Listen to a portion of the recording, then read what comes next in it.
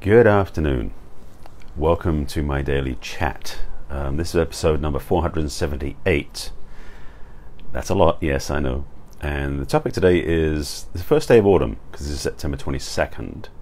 And I'm calling it Dating Changes because I want to talk about a couple of things that are brewing that you may not be aware of. Before I get into that, let me introduce myself and um, give a quick intro so that you know why I do this stuff and where you find more information about me.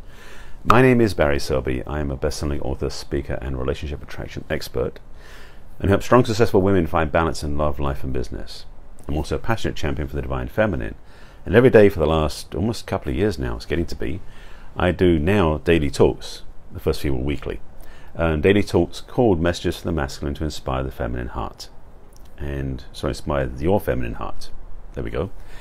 And every day I do a talk around the area of relationships, love, romance, stuff like that. And today's topic is inspired because of the date change, because something else is coming. So again, this is episode episode number 478, and the topic today is first day of autumn, dating changes.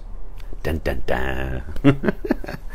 so um, it's funny. I mean, I've already seen posts on social media today about the weather changing and how fall is happening, and there's a really cute little comic video about someone like realizing the clock's changed to September 22nd, so now it's the fall.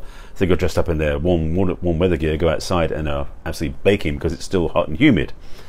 So nothing's really changed on the weather, but the calendar shifted. And my point I want to make, or, or should say where I want to go with this, is once the season shifts to fall, you're starting to look towards the holidays. You may not be aware of this yet, but subconsciously, I suspect, your radar, your subconscious programming is leaning into what's coming soon, which is, well, one thing, for example, for the Americans, is Thanksgiving. Yeah, I'm going to talk about that. I know it's early, but then, of course, Costco's been showing Christmas decorations for a month already, so I'm not that early. Thanksgiving is a time of year where, for a lot of people, there's a lot of family pressure. Now, not everybody does. I mean, I don't have family here, so my Thanksgiving to go back to England would be pointless. So my Thanksgiving is with friends, so it's a lot easier for me. But for some people, having a challenge, or I should say, going home for Thanksgiving is one of the most challenging things on their calendar. So I'm giving you a head start by giving you some tips on that. But also, it's leading towards the holidays as well. So not only Thanksgiving, but Christmas. Um, yes, Halloween's in there too, but that's not quite the same effect. But Thanksgiving and Christmas represent for a lot of people the experience of um, family. And if you're dating someone or just started dating somebody, there's a certain word I like to use in this context called pressure. Because for that period, that's um, especially if you're not um, under 25, if you're someone who's been through, maybe you've been through a divorce and you're in your 40s, um, there's there's a change that happens for us as we're adults, where if we have elderly parents who are alive and we're not married, we get pressured and I'm including myself in that one. I had definitely received that over the years. My parents have given up on me now, thankfully, or given up on that concern, or I should say, my dad has. My mum passed away a few years back. But for a lot of people out there, this paradigm of going home to see the family at Thanksgiving is one of the most challenging things of the year. In fact, um, John Bradshaw is quoted as saying, I'm going to paraphrase, I don't remember that quote. He's quoted as saying that if you think you're, if you think you're, um, if you think you're I'm not sure if it's awake, conscious, or developed personal growth. I think it's on the lines of if you think you're awakened, try going home for Thanksgiving. And that sums it up right there.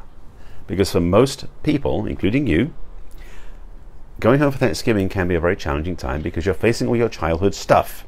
Because when you go and see your parents, if you've been away for years, decades, going home tends to bring back a lot of childhood memories, especially if your parents still live in the home you were raised in. Oh joy. So the opportunity you have, the challenge you have, the invitation you have is to change the paradigm. Because if you don't want to do the same thing you've done for the last 10 years when you're going for Thanksgiving, presuming you do, there's an opportunity to do things differently, which is to take ownership of your own stuff. Yes, stuff, that word I used to cover a lot, a gamut of technical things. But when I'm speaking about specific, specifically, I said that word clearly, is to take ownership of your reactivity and your reactions and your feelings this time of year also evokes some other things, including um, nesting energy, including becoming reclusive, including becoming more, um, what should I say, less active, even though this is still September, it's only the 22nd, but we've turned a corner in the calendar, so to speak. And for a lot of people, not even consciously, but under under the layers of life experience, everything else, there's to there, there is, tends to be this slowly brewing disquiet. There's slowly um, like like a very slow bubbling um, pot, so to speak. So the energy is picking up. It's not conscious yet. It's not above the surface yet, but it's you starting to feel, you may start feeling a disquiet or a certain unsettled feeling. Now it may be nothing yet, but I can pretty much guarantee you within the next three or four weeks, it's going to feel more evident because you're getting close to that time. And for most people, getting around to Thanksgiving is one of the most challenging times of year. As I mentioned, to go home to see your family. I wish it was the most loving, joyful, expressive time of year, but for most people, it's not. In fact, for most people, it's a time they'd rather avoid. So I want to give you a couple of clues, some tips, some guidance as preparation for what's going to happen in basically two months' time. This is 60 days away. However, it can still evoke a lot of stuff for you. I know I've got friends who've been through this, and I've watched my many friends and relationship partners go through this too. So I'm moving away from the relationship concentric point for the moment. I'll come back to that in a moment. But things you do for yourself is, first of all, really focus on you. Going back to see your family is one of the hardest things to do when you're focusing on you in the sense of taking care of yourself. Because when you go back to see family, you're still focusing on you, but through their magnifying glass and their criticism and their upset and their judgments. You know what I mean? So if you focus on your self support first, and next 60 days is a great time to do that because you've got two months planning to do this over. To work with your own self review, your own self support, and your own self love. Yes, that wonderful thing I about self love is the most probably the most powerful, potent potentials, all the P words, and principles for how to be in the better place when you go see other people. When you fill up your own tanks of love, self love first, what happens out there doesn't impact you as much, including family. Yes, including family. So if you're planning to go home for Thanksgiving, I would recommend doing the self love practice I recommend, and I'll give you the link to the where you can actually get the self love guided meditation that I offer. To do that for the next two months, it would transform your experience when you go and see family if you've had a challenging time in the past. I can tell you that now. It also changes the way you are in the world as well, which is another side benefit. So that's one piece, which is really get your ducks in a row before you go home to take care of yourself and put yourself first. Because when you go home for your family, they know all the buttons to push and those key, those ways to get in to really um, undermine your self confidence. That's their, not their job, but it's their habit. So if you work on that for the next two months to really build up your own support and you put in firm foundations, and self love is one of the biggest ones, by the way, then you'll be in a much better place to go home and see, much better place to go home and see your family. Back to relationship for a second if you're single going home for Thanksgiving, you know the routine probably by now, where your parents are sitting there going, So, when are you going to meet somebody? Or if you're with somebody in a relationship, it's going to be, When are you going to get engaged? Or if you're engaged, it's going to be, When are you going to get married? You know the drill. Basically, whatever you don't have, they're going to say, Why don't you have that yet? And that is one of the challenges that comes with going over, going over Thanksgiving. So, coming back to what I said before about self love, self support, building the foundations, that's what you do first anyway, if you're single or in a relationship, because when you build up that support for yourself, going home to see family becomes less invasive and less button pushing because you don't have the buttons to be pushed.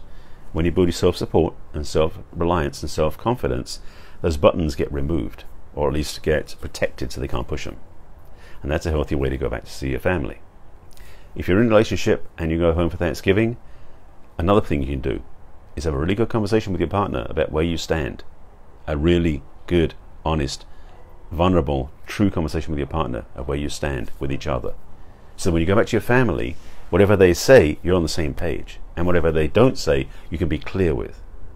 And also, however they look at you, you can stand in your truth and know where each other stands. Because for many couples going back for Thanksgiving, if they're in a new relationship since the last time they went back, a lot of times things come up at the dinner table or in the kitchen or over cocktails or whatever it is, where the um, and say this. A lot of wedges get shown up at these places, these times, because there's a way of treating the outsider, which is your partner if you're going to see your own family, where they can be judged harshly. And if you're really in a healthy relationship, you're going to stand with her, your partner. I was going to say her, but it's like if you're a woman, stand with your man. So if you're going home to see your family, remember that your partner is the outsider. especially if it's a new relationship they haven't seen before. If you've been going back, fam- if you've been going as a couple to your family for years, this is not an issue.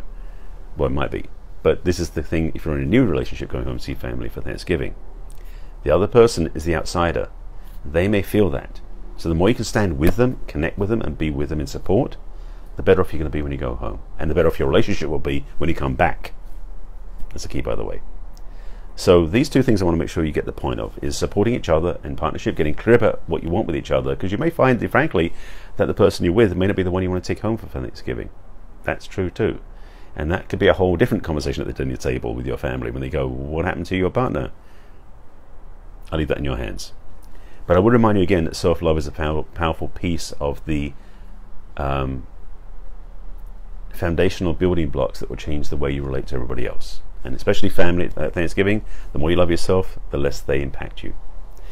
So, to to give you a quick little link, you can go check it out. My my I'm actually updating the page because I'm really I realize I, re, I need to label it differently. I call it the Self Love Mirror Meditation Guidebook.